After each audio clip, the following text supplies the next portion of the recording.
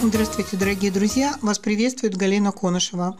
Продолжаем тему шоковой информации по поводу смерти академика Бехтерева и как это связано со смертью Шатунова. Те, кто смотрит мои фильмы, ну, не прерываясь один за другим, понимают нить повествования. Те, кто пришли впервые или вот случайно попали, они вообще ничего не понимают и говорят, не понимаем, как вообще связана смерть Шатунова и Бехтерева. Я отсылаю к ссылкам под описанием к последним трем фильмам для того, чтобы было понятно, каким образом это связано. Я еще не сделала окончательного вывода в фильме, то есть мне он понятен, многим он понятен, но окончательный вывод будет еще отдельным фильмом, потому что надо будет подытожить всю ту огромную информацию, которую я получила за эти полгода с 23 июня.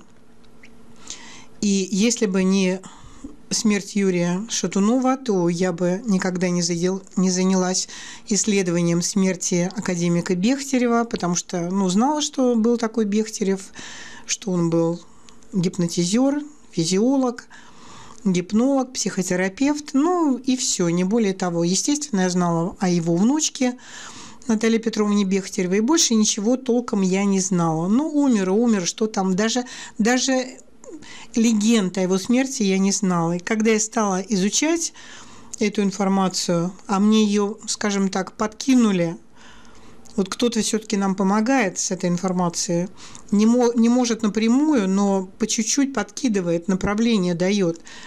А поскольку я все проверяю очень тщательно, я не смотрю просто блогеров каких-то. Мне не интересно поверхностные мысли. Мне интересна глубокая интеллектуальная работа. И мне интересны связи. Если там есть люди, я проверяю эти биографии, эти связи этих людей. И вот я совершенно неожиданным образом, вот эту информацию мне точно никто не подкидывал, я вышла на дневники Додина, Кому-то это не нравится, кто-то считает, что играет «верю, не верю», там нельзя верить Додину. Я не, не занимаюсь игрой «верю, не верю».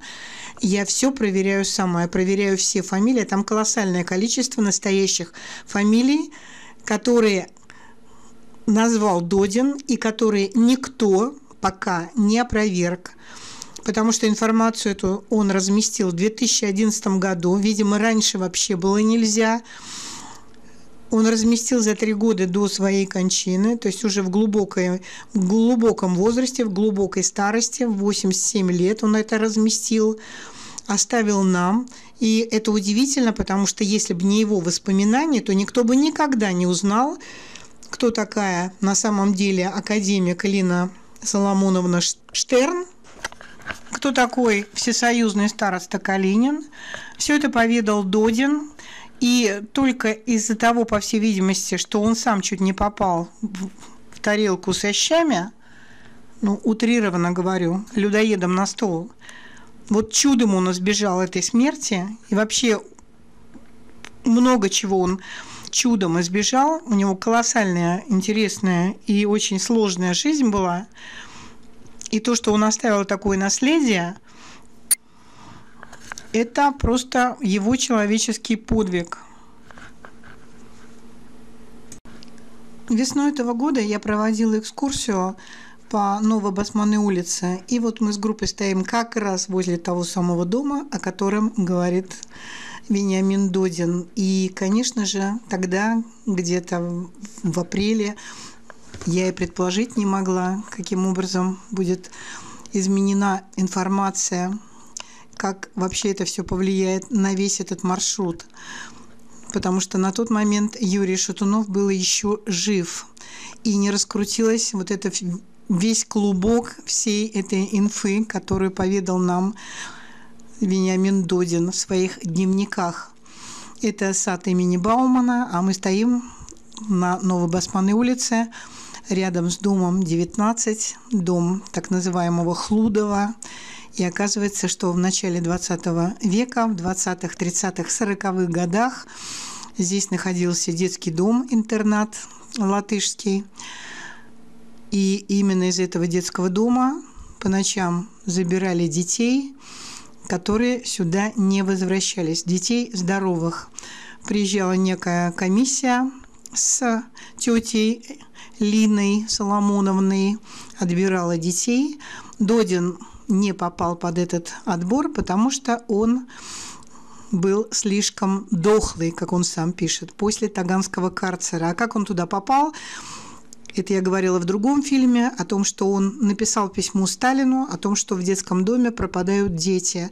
Письмо к Сталину не попало, его, в общем-то, перехватили, его мальчишку посадили в карцер, хотели его извести, убить, ну, как бы уничтожить, но дело следователь, следователь не стал развивать это дело. Короче говоря, ему помогли спастись. Были люди, которые, которые про все это знали и которые противодействовали этим сатанистам, но покрывались они на самом верху власти, так называемым ВЦИКом, которым руководил на тот момент Калинин. А Калинин – это ставленник Троцкого, напоминаю. Они вне, внешне похожи. Естественно, что у нас образ Калинина, доброго такого, заметьте, дедушки.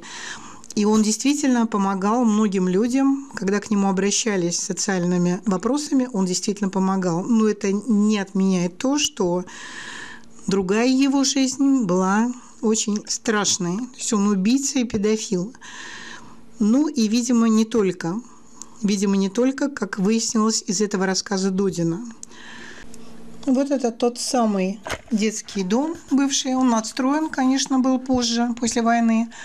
Так это был двухэтажный с полуподвалом. Дудин говорил, что поскольку окна выходили на уровень земли, и они в окна вылезали и бегали гулять в парк имени Баумана. Вот все здесь сходится. И вот сюда куда-то приезжала с комиссии та самая тетя Лина Соломоновна, отбирала здоровых детей, их увозили в ночь, как мы теперь знаем, в санатории узкое, это повидал опять-таки Дудин, потому что он потом вернулся в семью, а семья у него была очень известная. Там и врачи были, и родители у него были очень известные, и тетка его была солисткой, балериной Большого театра еще при царе. И его все знали, и, в общем-то, ему поведали многие тайны, именно полагая, потому что он прошел такую школу жизни, и ему можно доверить эти тайны.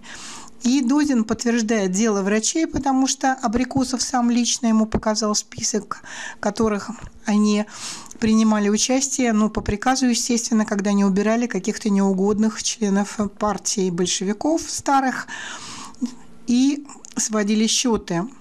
Вот так все это было страшно и серьезно. Поэтому там не белые и не пушистые. Дудин говорит вообще страшную правду, и не все ее могут воспринять. Но, там, скажем так, те, кто не может, можете прямо сейчас закрыть это видео и заняться чем-то другим, а мы продолжим свою работу. То есть нервные, пожалуйста, уйдите от экранов, и не надо мне писать ваши глупости.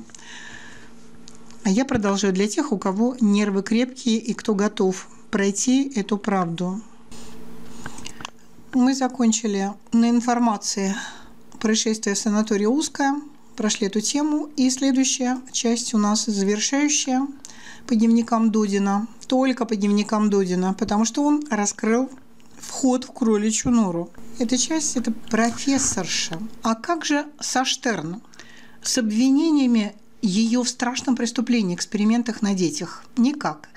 Когда пришедшие в себя после Ежовской Ласки Спиранский, Юдин, Бурденко, Рапопорт и кто-то еще из известных нам и нам неизвестных, присоединившихся к ним попытки приостановить деятельность профессора Штерн возобновили атаку, их вежливо, но настойчиво предупредили об ответственности за клевету на известную ученую и коммунистку. Тут же собрали приемную прокуратуры СССР, где все тот же Рейн, теперь уже вовсе не таясь, от чьего имени заявил, или вы оставите профессора Штерн в покое, или по поручению председателя ВЦИК СССР, то есть Калинина, вами займутся органы. Вот, наконец, в деле со Штерн нечаянно проклюнулся долго прятавшийся за своих шестерок товарищ Калинин. Все, все вроде бы становилось на свои места. А я напоминаю тем, кто постоянно смотрит мои передачи, видео и вот это расследование – кто такой Рейн. Рихард Рейн, вспоминаете, самые первые, когда вот мы только перешли к теме, как похожая ситуация смерти Бехтерева и Юрия Шатунова, что у умирающего, у кровати умирающего академика Бехтерева находился вместе с его женой молодой некий Рихард Рейн, тоже латыш, как и она латышка. Кстати, детский дом, вот этот на Новой Басманной, он тоже был латышский. Какие-то интересные переклички с Латвией идут пока я эту связь не установила, но, возможно, она потом всплывет. Почему именно так? Почему именно Латвия? Года через два, когда Лина Соломоновна Штерн стала академиком СССР, а упомянутые Рейном органы все по тому же закону возмездия успели замести и самого Рейна, и Разгона, это Лев Разгон, и Константиновского с Клименковым. Напоминаю, эти те два врача, которые завершали, в общем-то, смерть Бехтерева – даже по тем временам густо вымазанных в постельном дерьме простого тверского мужичка Михаила Ивановича занавес над скандальной тайной Женевского двора профессора Штерн чуть приоткрыл мне отец Володя и Юрки Ждановых. Это врачи, это врачи. Отец – врач. Под новый 1940 год за столом у них много было говорено о малоосвещаемой войне за Ленинградом. Вообще о войне, которая уже с сентября свирепствовала в Европе. От наших девочек мы знали, что их приятели, они же слушатели Академии химзащиты, загорают в финских болотах. Что они, химики, там делают? Или финны собираются применять газы, вообще отравляющие вещества? Нет, ответил Сергей Александрович, пока не применяют, но мы обязаны всегда быть готовыми к отражению атаки ОВ. Тут выскочил Исаак Ашкенази и, смяв неприятный для хозяина дома оборот разговора, спросил что-то о механизме воздействия ОВ на живой организм. «Ну, – оживился Сергей Александрович, – это и просто, и сложно». И весьма доходчиво стал нам объяснять технологию, что ли, проникновения молекул отравляющих веществ в различные клеточные сообщества. И тут вдруг я услышал знакомое словосочетание «барьерная функция». Так ведь это же что-то такое, чем занимается академик Штерн. И то самое, от чего меня спас Таганский карцер. И дохлость моя после него – в этот вечер я больше вопросов Жданову не задавал. Мешало колотившее меня волнение. Через неделю-полторы мы снова сидели за тем же столом. Когда все мои товарищи расползлись по щелям проходов у книжных полок, я снова заговорил с Сергеем Александровичем о моем понимании механизмов этой самой барьерной функции, применительно к волновавшему меня вопросу восстановления здоровья раненых бойцов всевозможными веществами стимуляторами, подсказал Сергей Александрович, полагавший мой интерес закономерным из-за импонирующих ему лекций его сотрудницы Ганушкиной, возбуждавших в учениках подшефной ему школы пристальный интерес к его профессии. «Наверное», – смутясь поддакнул я, – «очень уж близок оказался разговор к мучительной теме». «Что же, это очень важная вещь», – продолжил Жданов. «Ею серьезно занимаются, например, во втором медицинском институте». «Штерн?» – вырвалось у меня. «Штерн», – подтвердил Жданов. «Вы ее знаете?» «Нет, что вы, академик же. Просто это очень интересно и важно. Об этом много говорят. Посмотреть бы на нее. Ну, это несложно. Она бывает у нас, читает спецкурс, консультирует, ведет семинары, участвует в ученом совете». Как-то этот разговор сам собой замялся, то ли он его закрыл, то ли я догадался, что далеко зашел и могу его насторожить. Только весной 1940 года я вернулся к нему, но заговорил уже не со Ждановым, а с Бертой Соломоновной Ганушкиной. Это племянница того известного психиатра Ганушкина. Как и с Григорием Вениаминовичем, мы с ней стали очень дружны. Ее смелость в войне с Сундуковым, опаснейшим и коварным подонком, ее опека Юры Яунзема, всеми мерзавцами преследуемого, ее материнское тепло ко мне дружбу нашу сцементировала. Пожалуй, она знала о моей семье не меньше того, что могло быть известно Григорию Вениаминовичу. Ему из-за родства и более всего по линии папы. Ей из-за ее знакомства с мамой, учебы у нее, чувство величайшего уважения отношения, которое Берта Соломоновна сохраняла постоянно. Вот смотрите, для того, чтобы мне понять, о ком идет речь, кто такие были родители этого Вениамина Додина, мне пришлось, в принципе, прочесть всю его информацию, и я наконец-то стала понимать, кто родители, почему так уважали его маму, что за общество они создавали. Это еще до революции. То есть там далеко до революции. Там идет в 19 век, во второй половине 19 века, аж там где-то 70-х годов. То есть туда уходит история у него, его э, родства, его знакомых, вот врачей в том числе, которые, в общем-то, помогали в русско-японскую войну. Мама очень много спасла раненых в русско-японскую войну. Вообще ее родители, его родителей знали во всем мире. Поэтому Дозин а, не такой простой человек, как может показаться. Он не Солженицын, как его пытаются сравнить. Даже, даже рядом не стоял вот этот Солженицын. С ним Солженицын – это враль. А Дозин – это человек серьезный, который действительно подтверждено его информацию, которую он говорит, можно подтвердить во многих других источниках у других людей, которые не связаны даже с этой темой. И кто хочет это опровергнуть, пожалуйста, только с аргументами. Если кто-то что-то не верит, это ваше дело. Ваше верю, не верю не имеет никакого значения, пока у вас нет фактов и аргументов. Вот я свои факты собираю и аргументы, и я отвечаю на своем канале за каждое свое слово. Ну, продолжаем. Специально я Берте Соломоновне не раскрывался, не хотел навязывать ей лишних переживаний еще из- из-за сложностей собственной моей и только моей судьбы. Ганушкина была из той породы женщин, что без раздумий принимают к сердцу боль всякого бесприютного существа. А уж бесприютным-то я себя в это время полагать не мог. Тем более в ее вечной бесприютности физически искалеченного те человека, женщины, сильный, гордый, мужественный человек Берта Соломоновна чувство жалости ни в ком вызвать не могла. Но чувство высокой любви к себе вызывало у всех, кто хоть чуть-чуть проникал за завесу ее деформированного лица маски. Кстати, ни одной фотографии Берта Соломоновны Ганушкиной в интернете нет. Знаю, что точно. Не мне одному приходила в голову навязчивая идея, как-то в скорости повзрослев и встав мужчиной, предложить однажды всем своим друзьям организовать нечто вроде рыцарского клуба защиты Берты Соломоновны от всяких подонков. Этого чувства у всех нас тогдашних не отнять. Оно сродни романтическим порывам, открытию неизвестных земель, спасению тех же челюскинцев, добровольному уходу на фронт. Так получалось, что самые дикие, казалось бы, порывы сердца всегда осуществлялись, даже даже до наоборот, хочется добавить. Кто знает, что я наделал бы еще, если бы не наделал всего, что наделал.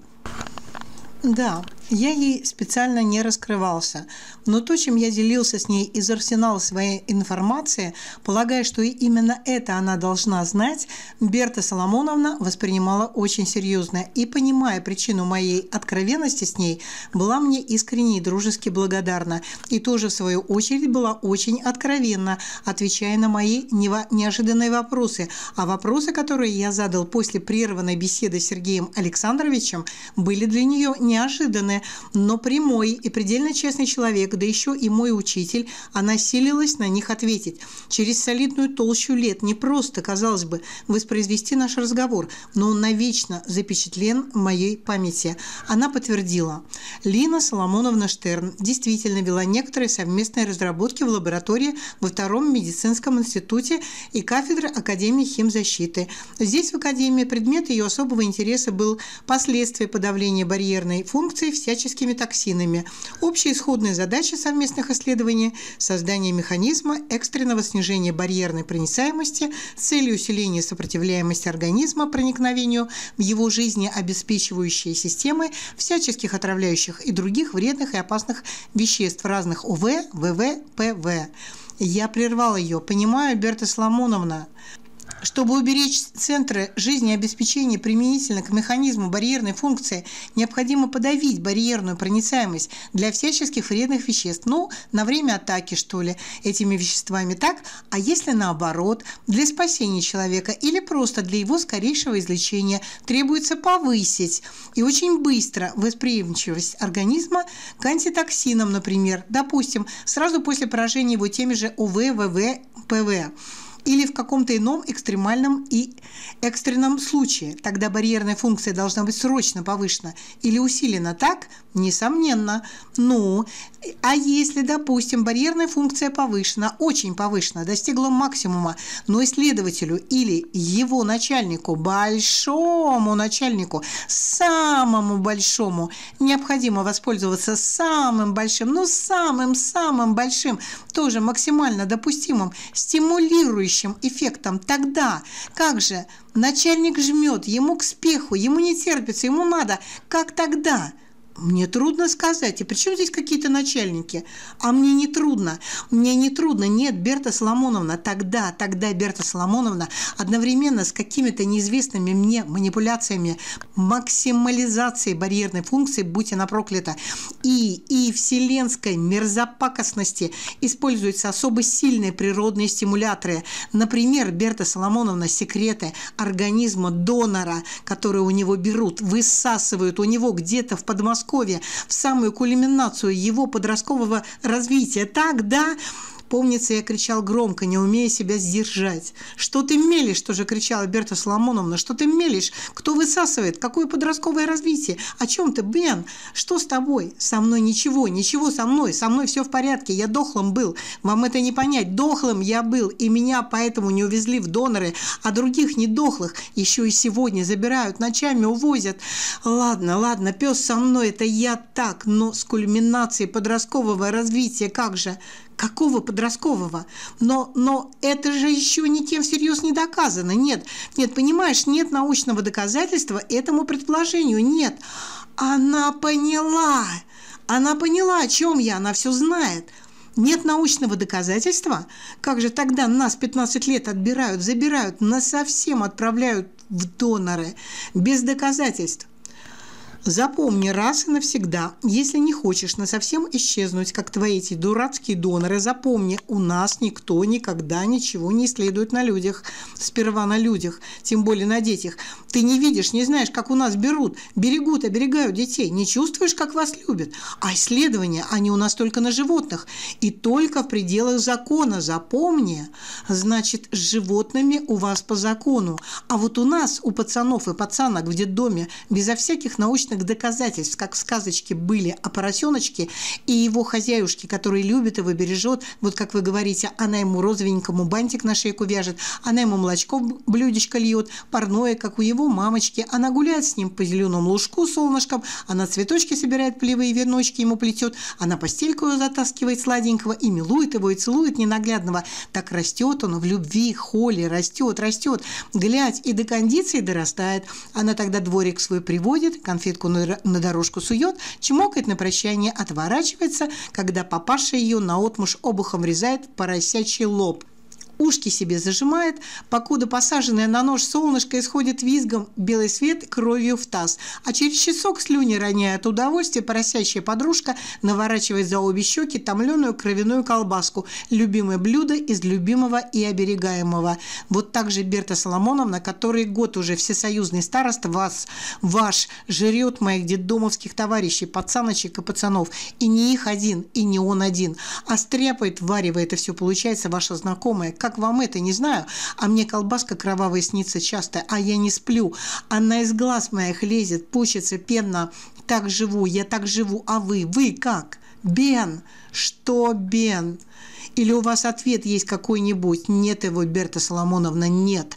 Нет, если вы страшитесь прямо ответить на мой вопрос, чем занимается Лина Соломоновна Штерн, академик. Нет, если знать не знаете, с какими событиями, с какой мразями имя ее сопрягается. Вы – это вы. А мне-то как жить дальше после всего, Берта Соломоновна? Конечно, меня самого теперь просто так за здорово живешь за колбаску им не пустить. Не дедомовские, заступиться есть кому. Крикнуть хотя бы на весь белый свет. Да разве ж дело вам мне, Берта Соломоновна, ведь товарищи-то моих с Новобасманной, пацанов и пацанок, их-то до сих пор увозят на совсем, а вы все, все со своим Сергеем Александровичем, любвеобильной Людмилой Ильиничной и русских интеллигентов играетесь, приемы, диспуты устраиваете на начальственных квартирах и рассказываете благоговейно, каким человеком мама моя была, и хоть кто последовал ее примеру или хотя бы поступку тети Кати Катерины, когда она в одиночку, безоружная, совершенно пошла на, на медведя душегуба за честь своей Беллы Уваровой, это он имеет в виду ситуацию, когда его вот Екатерина Гельцер кинула в Калинина, пришла и кинула в Калинина тяжелый статуэткой Мефис... Мефистофеля разбила ему голову. Ей, кстати, за это ничего не было. Сталин просто посмеялся, как говорят. Сказал, что так ему и надо, похотливому козлу. Вот такая была история за Беллу Уварову. Балерину Беллу Уварову нашли убитой, а предварительно зверски изнасилованной в лесу. И чтобы никто не докапывался, заодно и ее родителей подвели под, под срок и расстреляли. То есть все, вот это дело покрыли. Все это делал Калинин. Но, по крайней мере, так говорят свидетели того времени. А прежде за жизнь Юлии Корнфельд Зои Овциной, Катеньки Балашовой, а вот про этих уже даже ничего и не известно. Если про Беллу Уварову сейчас можно найти эти рассказы, то вот про эти имена даже и вообще ничего и не найти. Мне люди вы все как есть. Берта Соломоновна молчала, долго молчала, и у меня не было сил больше говорить с ней.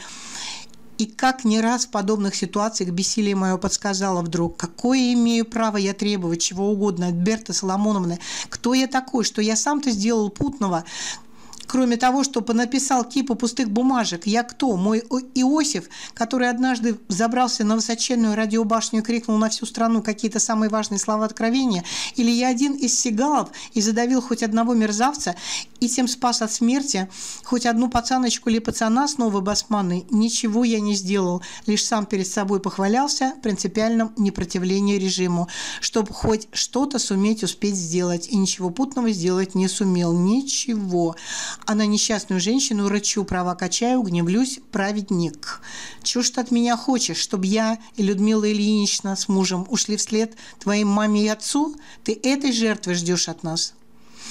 Ничего я не хочу и не жду ничего, и жертва здесь ни при чем. Одно мне надо от вас, скажите мне правду о штерновских делах, только правду. Если ее знают люди, ни дня с Леной Соломоновной не работавшие, то как же вам ее не знать? С автором ее исследований скажите правду. Я вас не выдам. Это вам понятно. Тогда вы развяжете мне руки, освободите мою совесть, квалифицированно, из первых рук, объяснив, что именно происходит на ее дьявольской кухне. Тогда я сумею действовать в открытую, мне точно терять уже нечего. Мало того, я тогда смогу внести уверенность в души людей, уже сейчас воюющих с каннибалами. Они вычислили структуры и знают сущность ее деятельности. Они, наконец, обратили внимание на заказчиков ее преступления и через это знание вышли навстречу ее потенциальным жертвам. В сами жертвы их не встретят, жертвы исчезли. Но всего этого мало, необходимо знать анатомию зла и вскрыть его технологию. Так поделитесь ее секретами. Я расскажу тебе, что знаю, хотя знаю мало, очень мало. Ведь все, что делалось ею и теми, кто на нее работал, действительно секретно. Понимаешь? Ведь именно она контролировала наши совместные разработки, именно она их консультировала, и она же отбирала результаты исследований, которые ни сам Сергей Александрович, ни мы, рядовые экспериментаторы, не могли комментировать. Не она работала на наши темы, мы работали на нее. Но прежде чем ответить на твои вопросы, не в оправдании Лины Соломоновны, Соломоновны нет, но чтобы ты получше понял, все, что у тебя связано с ее именем, послушай меня о ней. Зачем? Чтобы в который раз и, как всегда, войти в положение очередного палача, не смей так говорить. Да, ты многое успел пережить, но это не значит, что тебе все известно о жизни. Кроме того, черно-белое видение ее жизни этой никогда не приводит к верным оценкам. Послушай, я с Леной Соломоновной знакома с 1926 года. Почти с того же времени работала в Академии по тематике, в которой она и участвовала. Конечно, она твердый орешек. Просто расколоть ее по твоей терминологии невозможно. Но представить, что там за прочной скорлупой можно. Со временем, конечно. Прошло 15 почти лет лет, и что-то узналось. Она, в сущности, очень несчастливый человек. С детства она сама рассказывала, ее обуревали сонные разнообразнейших страстей. Одной, но действительно пламенной ее страстью была жажда необыкновенной любви. Да-да, как и у большинства нормальных девочек. Но эта ее страсть подогревалась очень рано проявившимися талантами во множестве областей. В искусстве, в целенаправленности выбора занятий, в умении учиться, работать, одеваться. Но жажда любви преобладала над всеми иными страстями. Жажда настоящей, навек, до смерти любви.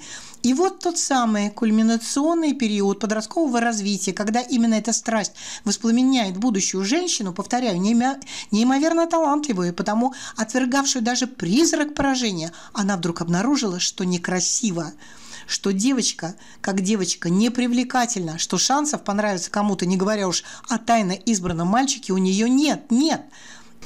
Нет даже самой малой надежды просто обратить на себя внимание, как на наследницу известнейшей на родине ее весьма состоятельной семьи. Ты понимаешь, что это значит? Такое открытие юной женщины с таким талантом. А талант исследователя у нее поразительный, а исследователь – это мыслитель, человек, отдающий себе отчет в том, что произошло. Но великий талант, он предполагает и страсти великие. Однажды расслабюсь, а человек она не просто сильный, но еще и жесткий, если не сказать жестокий. Кстати, кстати, о том, что она жестокая, это и во многих других э, описаниях о ней. Так вот, они очень скромно, очень мягко стараются, но тем не менее, как в один голос, что она жесткая, жестокая. Не только по отношению к самой себе, а может быть не по отношению к самой себе, а именно к своим сотрудницам. Ну и если она брала и убивала детей для своих опытов, для своих целей, то это еще и садистка. Надо называть вещи своими именами. Она созналась нам. Я была 16-летней девушкой. 16-летней, повторила она. Мы с сестрой-двойняшкой на первом бале. На первом нашем бале.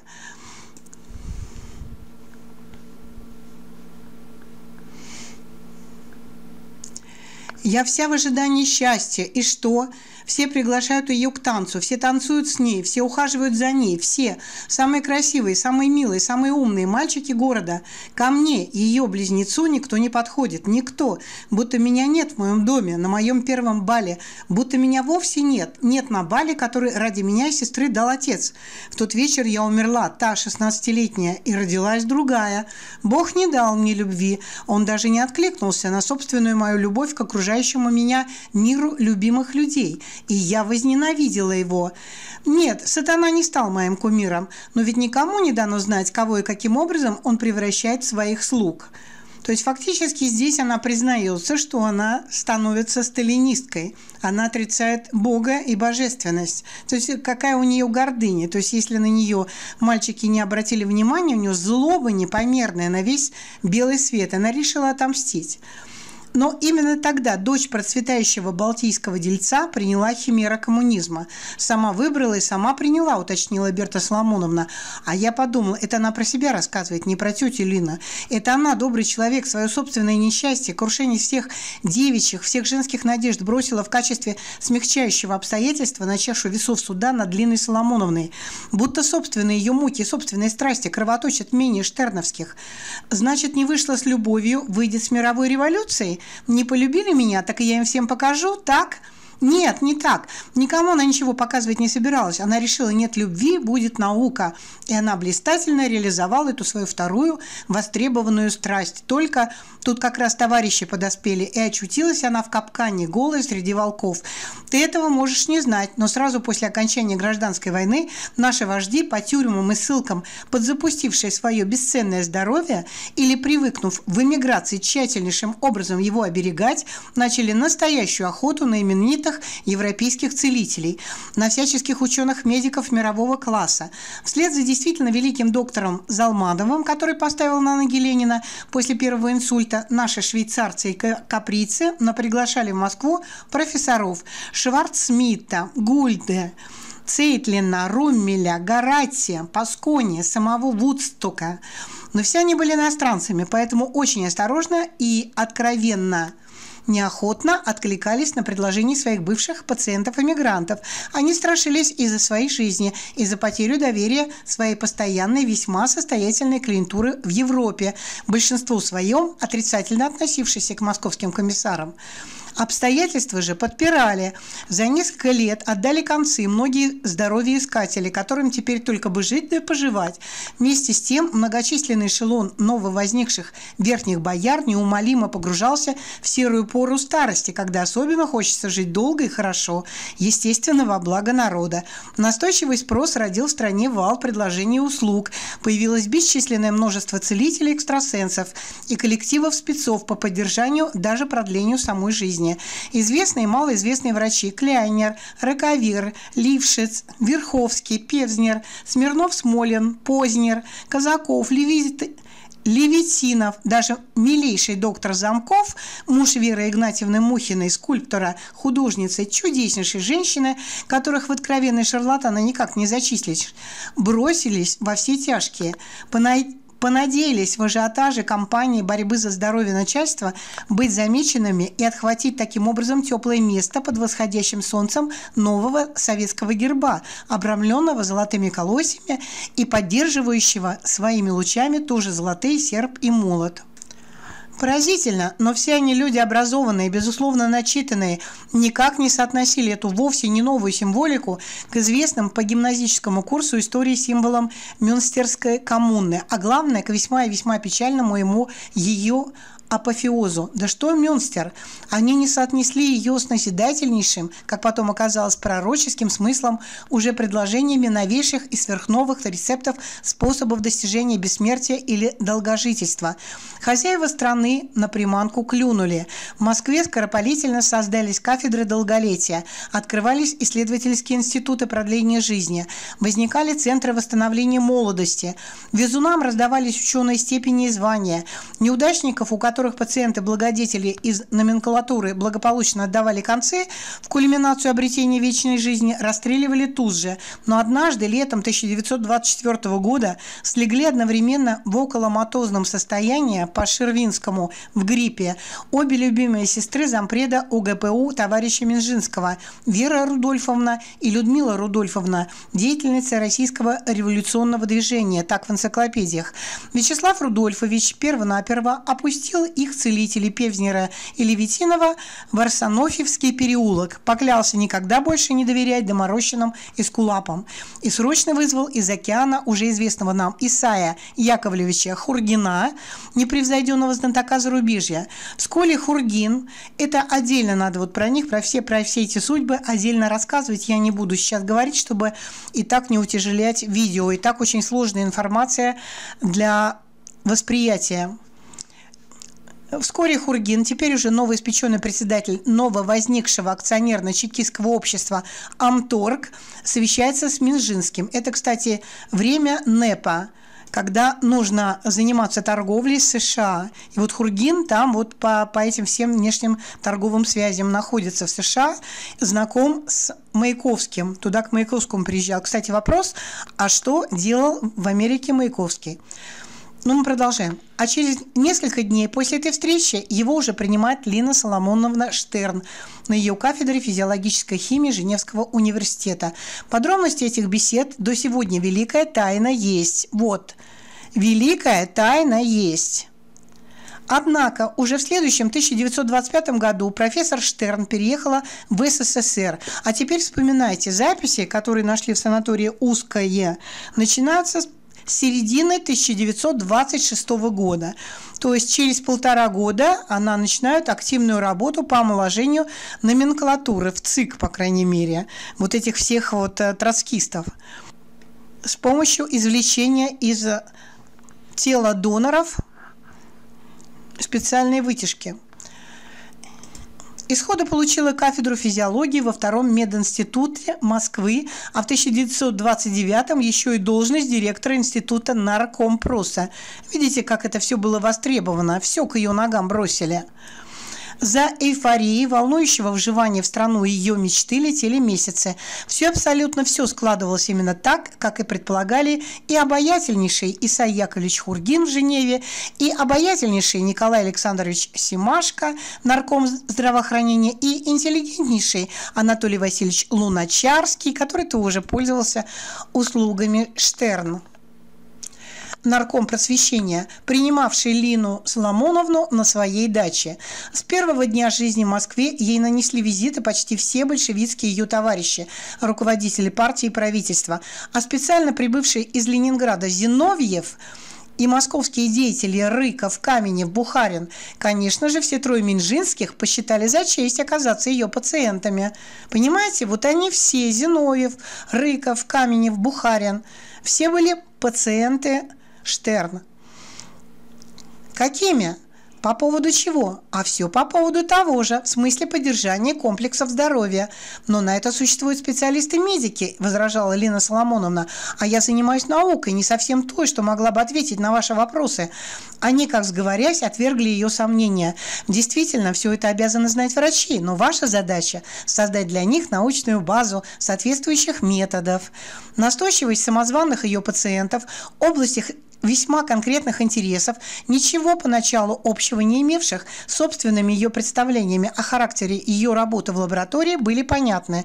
Ничего, казалось бы, неприемлемо конкретного ей не предлагалось. Главное, ничто из понятого ею не противоречило ее принципам ученого. Она витала в собственных западноевропейских представлениях империях. И я, Бен, говорила Берта Соломоновна, все время задавала себе вопрос, почему? Почему она уже с первых дней, с первых месяцев месяцев работы в Москве, не жизни. Жизни у нее никакой особой не было, была только работа. Почему она обязана была сразу разглядеть, разгадать, понять все то, что даже последующие десятилетия не пожелали, пусть не сумели ни разгадать, ни понять, ни разглядеть записные людоведы, вихвангеры, барбюсы, Роланы Шоу. То, что великолепно знал и до смерти покрывал Горький. Вот, кстати, для меня это загадка, потому что здесь я не понимаю, что под этой фразой подразумевается, что знал и до смерти покрывал Горький. Горький, я теперь понимаю, тоже был очень непростой, фигурой очень непростой. Он действительно очень много всего знал. Но что? Узнаем ли когда-нибудь? Найдем ли эти ниточки? Продолжаю. Да, она еще ничего не видела и не знала, тем более не умела предвидеть, просто по-житейски представить себе, пусть даже самое недалекое, собственное свое будущее. Но ведь его не видеть, не представить не сумели все те, кто сам будущее это измысливал, конструировал и строил, тоже не иначе мельтешать в своих персональных сферах. «Да, Бен», – продолжала Берта Соломоновна, – «тогда ее ничего не настораживало. Ученые, она на всякую негативную мелочь своей ее ипостаси новой советского гражданина внимания не обращала». Ей понятно было естественное в каждом новом движении явление отрицательного результата, во многих случаях исследовательски полезного, но не насторожил внезапный злой монолог Марии Игнатьевны Гляссер. Еще в декабре 1923 года Сталин, которого она раскусила, отстранил ее умницу, главную секретаршу Ленина, от полутрупа бывшего вождя как не пожелавшую служить новому. Но здесь а, Берта Соломоновна Ганушкина, она, так сказать, переигрывает и свои домыслы по поводу Сталина. Уж какая там умница, это Мария Игнатьевна Глясер, которая не пожелала служить новому. Да Сталину она была не нужна. Что значит не пожелала служить? Ее бы никто и не спрашивал. Служила бы как миленькая. То есть видите, как они о себе, какого они себе все-таки мнения. Даже когда они борются вот с такими, как Штерн, они все равно о себе очень большого мнения. Просто вот, ну, Эго зашкаливает. Ну, продолжаем. Она предупредила Лину Соломоновну, которую знала 15 лет. Кстати, откуда она знала Лину Соломоновну? Видите, откуда у них идут эти все связи? Издалека, издалека, издалека. И вот они все с этими связями, вся эта, вся эта сионистская, в общем-то, схема пришла сюда, в советскую Россию.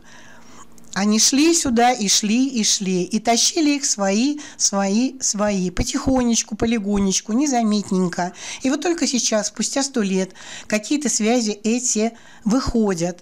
То есть из, из того, что они прикрывают, из того, что они сами говорят, вот выползает уши, что называется, другие уши ослов.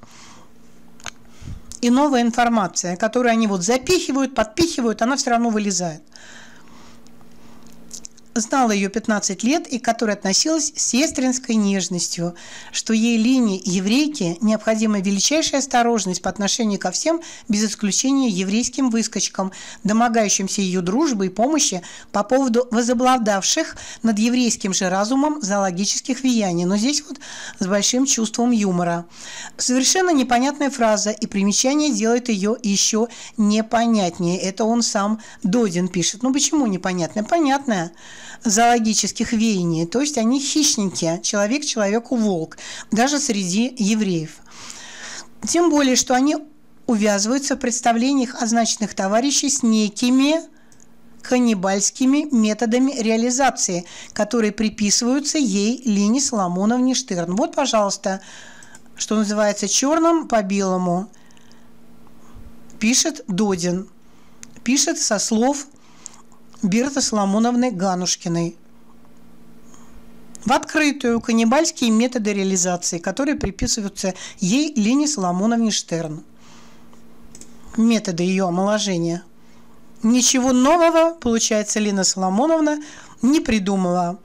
Как вампиры омоложались за счет молодой крови, пили кровь, ели молодых младенцев.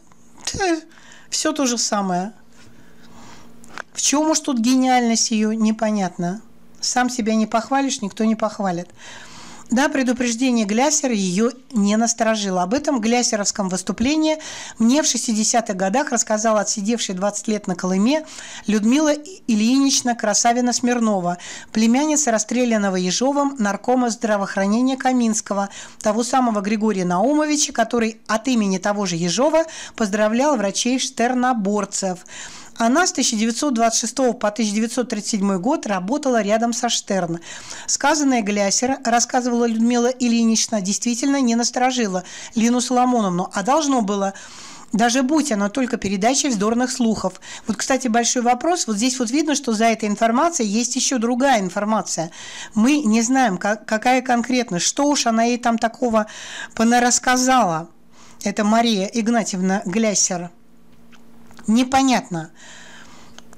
Но продолжаем. Что есть, то есть. Исходим из того, что вот написал нам Додин, и за то низкий поклон. Не удивляйтесь, ничего особенного в родственном между собойном подборе кадров не было. С первых минут советской власти каждого иностранного слепца, хоть и коммуниста, плотно окружали своими, своими слубянки или из собственного кагала. Вот, пожалуйста. И что здесь не сионизм? Нет, бедные евреи, нет никакого сионизма. Не, пожалуйста, вот Дозин пишет. Глясер не смогла насторожить Штерн. Это была всего лишь названная своим истинным именем сущность ее практики, тянущейся, кстати, напрямую из Швейцарии. То есть намек на что? Что в Швейцарии давно занимались такими практиками. То есть брали вытяжки адренохром из живых, что называется, детей но там она была свернута быстрой и недвусмысленной реакцией университетских ее коллег. То есть там она ушла в подполье. Значит, все-таки не захотели врачи заниматься этим. Именно это обстоятельство, а никак не идейные мотивы и привязанности, о которых лю любят трепаться апологеты Штерн, склонили весьма прагматичную и трогательно привязанную к европейскому комфорту Лину Соломоновну к отъезду в непредсказуемость Советской России. То есть ей хотелось заниматься именно этим, адренохромом. Поэтому она бросила все и приехала в Советскую Россию, потому что здесь ей дали полный карт-бланш. Да еще почти сразу после скандальных высылок из нее на запад света русской науки и культуры. Имейте в виду, все, что связано с именем Штерн, запутано и неоднозначно, и всегда плохо пахнет. Да, а ваша Ганушкина, Вениамин Залманович, предобрейший человек, где уж ей было до понимания первопричин нравственной эрозии личности такого масштаба, и уж еле знать, что нравственно, что безнравственно. Все, что приводит меня к моей цели, нравственно вбивала Штерн в наши головы. Представляете? То есть все, что она делает по, к своей цели, а какие у нее цели, большой вопрос. Надо узнать еще ее цели, хотя и так понятно. все нравственно. То есть убивать детей ради достижения своей цели – это нравственно по Штерн. То есть это фашизм в чистом виде. Это потом все перешло в немецкие концлагеря, в Освенцим. Чем она не фашистка? Она пакостнейшее изо всех безнравственностей браться за дело, которое не умеешь и боишься довести до конца. Так учила, так действовала большой ученый. Вот он это пишет в больших а, в скобках. Преступник, страшный человек, беспощадный ко всем, к нам, сотрудникам, подчиненным, коллегам, к обитателям вивариев. Вивария – это там, где содержатся животные для опытов. Ну и дети э, в детдомах, в том числе, это тоже виварии, которые брались на опыты и на адренохром. К таким, как ваш на Новобасманной 19 тоже. Даже тень доброты, казалось бы, присущая каждой женщине, отвергалась ею принципиально, как порочная субстанция, недостойная строителя коммунизма. Это вообще, представляете, это сатанистка страшная. Доброта, говорила она, показатель морального разложения ученого-большевика. Нормально? Учет смягчающих обстоятельств преступления. Как же так, поражались мои знакомые, когда узнали о характеристике, переданной Леной Соломоновной в НКВД вслед за моим арестом. Известный ученый сама составила и подписала убийственную объективку, донос на свою лучшую сотрудницу-девчонку. Она еще и доносы писала. Академик же, академик. А что академик Вышинский творил? Миленький Андрей Януанович – как писаясь, величала его моя кузина, секретарь этой сволочи. В дни, когда нас с ней замели, эта пара Вышинский и Штерн одним заходом стали действительными членами Академии и безоглядно продолжали творить свои паскудные дела. Да и на кого им было оглядываться? Не на замученных же им, прокурором россиян и друзей по партии, или ей на детдомовцев, пропавших с концами после ее медкомиссии. Кто их всех считал? Кто спросил с них за всех? А детей? Верещали те же мои знакомые. Детей-то детей как они могли? Так и могли, как смогли уничтожить миллионы детей всех народов и сословий России целенаправленными газовыми акциями против восстаний Тамбовщины. Этим, кстати, я хочу сказать, занимался Тухачевский. Так что расстрелян был абсолютно правильно.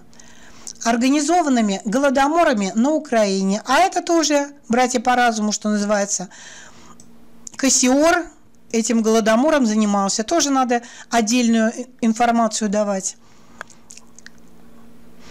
и в Поволжье северными и сибирскими этапами раскулаченных многодетных крестьянских семей со всего СССР, тотальными депортациями народов и гибельной для них провинции, вырубанием их карательными кавалерийскими корпусами в Туркестане. Опять-таки я хочу сказать, что даже сейчас, даже есть вот у Гордона видео о том, что в ГУЛАГе все комиссары были евреи, они сами это признают. Это все делали братья Сиона – на этом можно было бы поставить точку в рассказе моих поисках правды об ученой тете Лине, имя которой и тонкие пальцы в прозрачных перчатках преследуют меня всю жизнь. Вроде бы ничего нового не прибавили мне рассказы профессора Семен Сергеевича Халатова, однокашника мамы по Курску Петербургской медико-хирургической академии патофизиолога, товарища ее по мировой войне и спасению. В 1929 его перевезли в Москву, и было почти тянули в штерновские дела – а заталкивал его в эту мышеловку все тот же Калининский Рейн.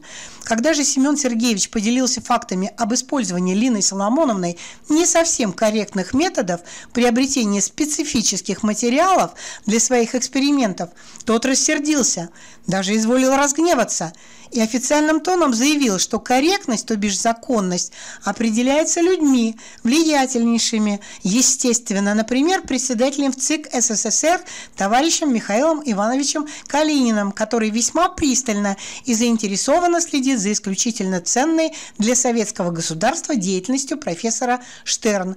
Вот здесь прямое название «Кто покрывал эту Штерн и ее каннибальские методы». Калинин.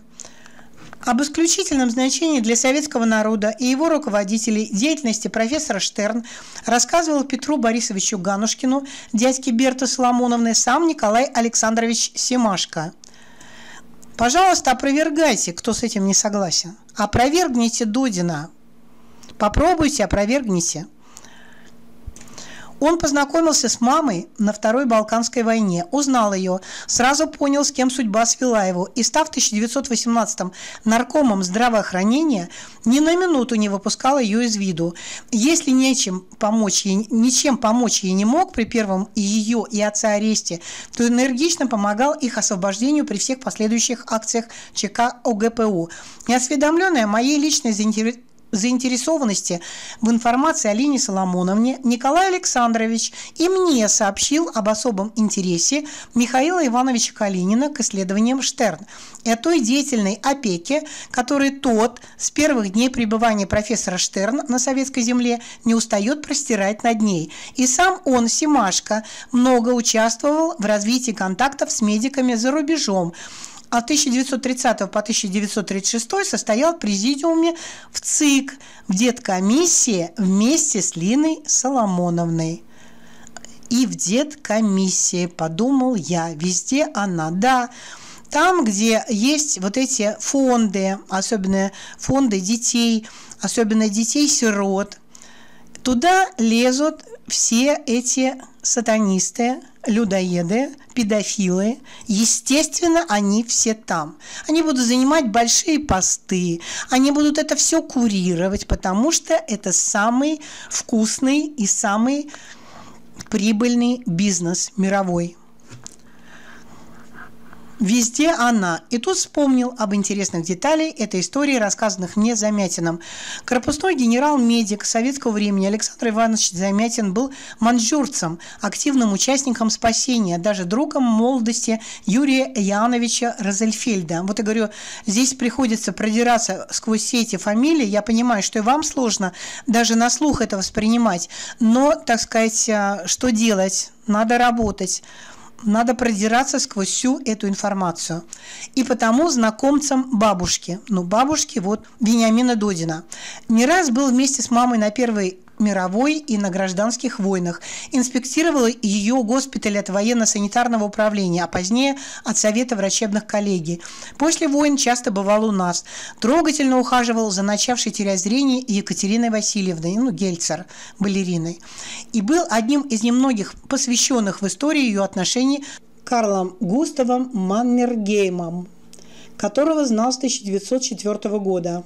Жаль только, что поговорить с ним один на один на штерновскую тему случилось не слишком рано, почти сразу по вызволению из детдома. Тогда Александр Иванович имел все основания видеть во мне ребенка и, соответственно, адаптировать смысл и детали своих воспоминаний. Конечно, бабушке он рассказывал все, поэтому восстанавливаю их в ее пересказах. Итак, на этом четвертую часть повествования Вениамина Додина заканчиваю, потому что оказалась и так очень длинная часть и очень тяжелая для восприятия. Но ничего не поделать. Я понимаю, что большинству очень сложно это даже слышать, воспринимать, запоминать. Я сама продиралась ну, где-то месяц. Я вам покажу, как я работала с этим материалом. Это действительно очень сложно. Но этот труд того стоит. Тот, кто пройдет вместе со мной эту информацию, не поленится, может быть, не один раз послушает эти видео, которые я записала, может быть, найдет текстовые и сам проверит все.